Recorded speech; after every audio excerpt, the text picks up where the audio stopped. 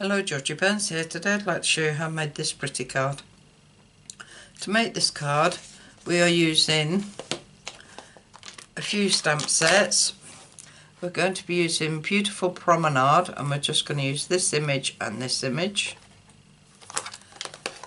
Itty Bitty Birthdays which is a new uh, stamp set in the seasonal catalogue or occasional catalogue I should say and we're just going to use birthday wishes we're also going to use the handwritten background stamp, which is in the annual catalogue. And we're also going to use mistletoe season. I know Christmas is finished, but I want to use that little tiny image there. Instead of these leaves here, I want to use the tiny image. I'm also changing the colour to blueberry bushel one of the in colours. I've never used it, so I want to use that. And I've also cut out my butterfly. He's here. So to get started, you will need a card base of five and seven eighths by four and no eight and a quarter by five and seven eighths, scored and folded at four and one eighth, and two pieces of white cardstock at five and five eighths by three and seven eighths. Right, to get started, we need to mount our big stamp.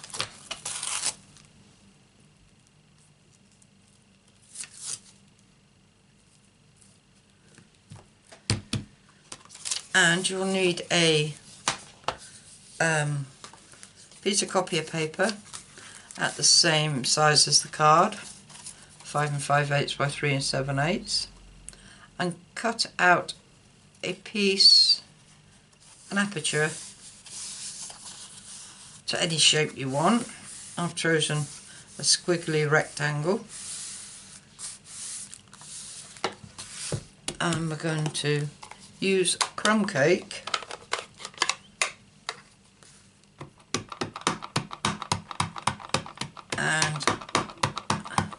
I know my cake needs re-inking, but I'm not doing it until after I've done this card.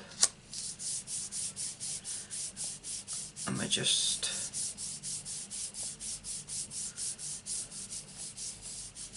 rub it on and lift it off and you'll get a very faint well faint in my case but I would have stamped off first if my ink was the full strength. But because it's not I didn't need to stamp off first.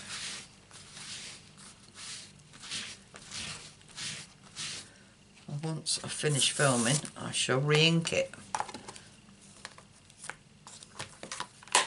Right that's that one used. Put that away and I'll take off the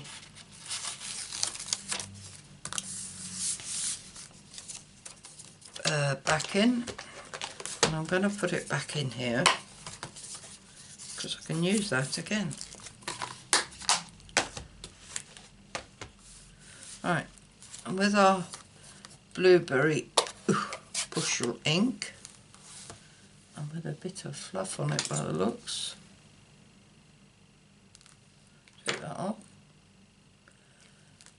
I am going to start stamping. So, with, I'm going to put it down two thirds of the way down.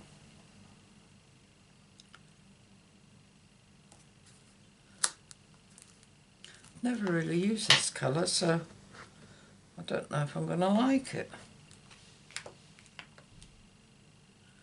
And then with the long one I'm going to put that to the side of it, quite close, hopefully it's not touching. Nah, it's not touching.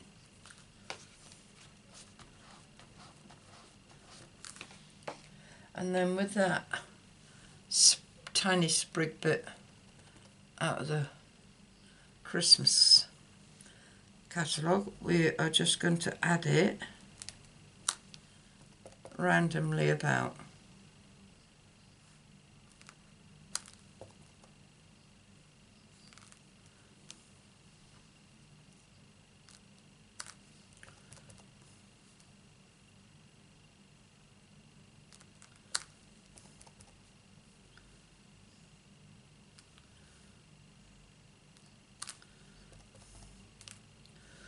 Um, just put one down here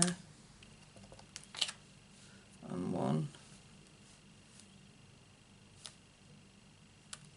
No, one up here.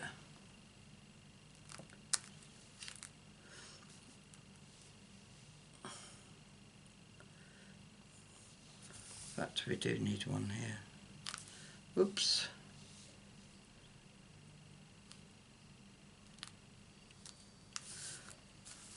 There.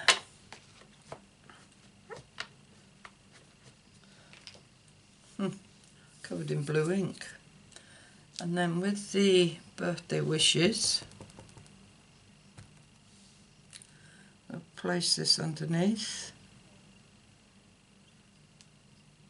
Now this stamp is not in a straight line.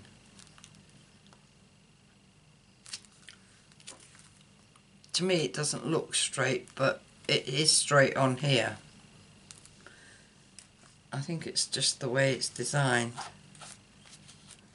The letters aren't all in a straight line. They're all over the place. So that's the front done. Now for the, I'm trying to be careful because I'm covered in blue ink. And with the straight one, we'll place one of them at the bottom, turn it round and place one for the top.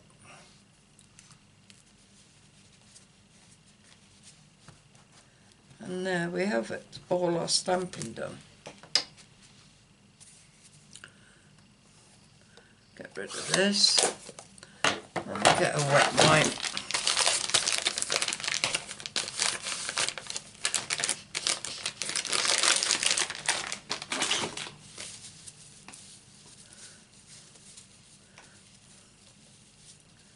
Just so I don't get ink where I'm not supposed to get ink.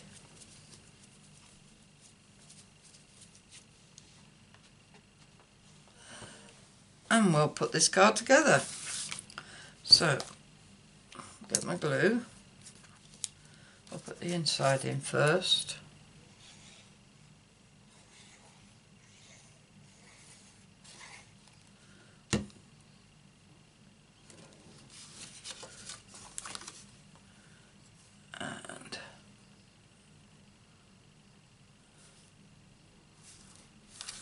That in. That looks quite pretty actually. And glue the front on.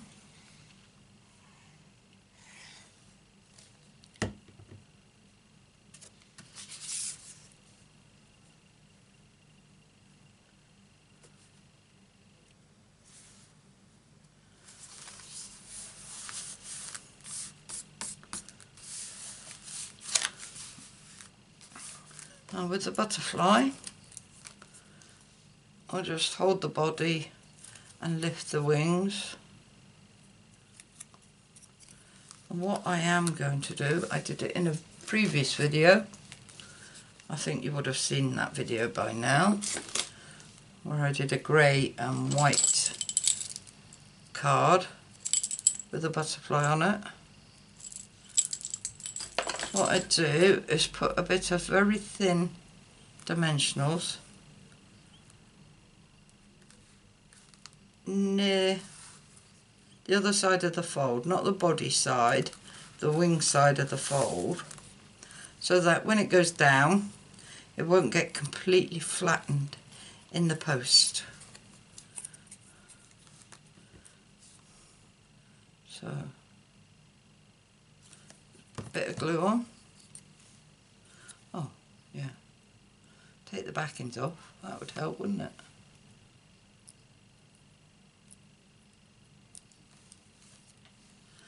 And place that just there.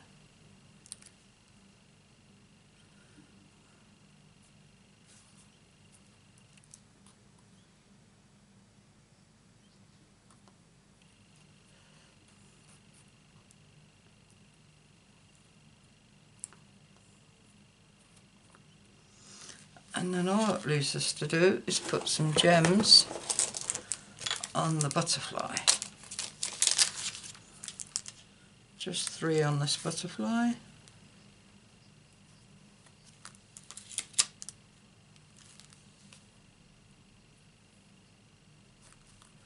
On the other one I think I put gold. But this one I do silver with the blue.